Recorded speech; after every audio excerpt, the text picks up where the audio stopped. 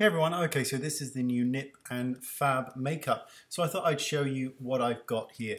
So there's eyeshadows, there's concealers, correctors, foundation and adjusters, a priming setting spray, and highlighters and contour products. So let's take a little quick close look.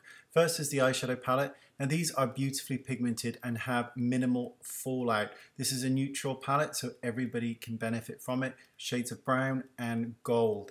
They swatch lovely and like I said there is minimal fallout so this is a great palette. Next we've got the shimmer palette.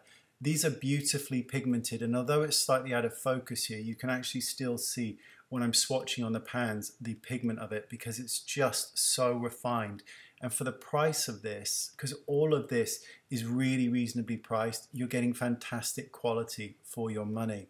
Next is the powder highlighters and contours. These contain no shimmer. They are completely flat and matte. They're also workable shades that can be used to set concealer or as a general bronzer. Next comes the correctors in four different shades. These are beautiful and incredibly forgiving on the skin because they blend beautifully and they also have a really nice radiant reflection to them. And finally, we've got the foundations and two adjusters. This allows you to custom blend any shade you want. There is a whole range, but this is all the ones that I have, and you can blend them together to create a custom shade. That's it. That's the review. Nice and quick. I hope you like it. Definitely check them out because the quality is fantastic. Thanks, and I'll see you soon. Bye-bye.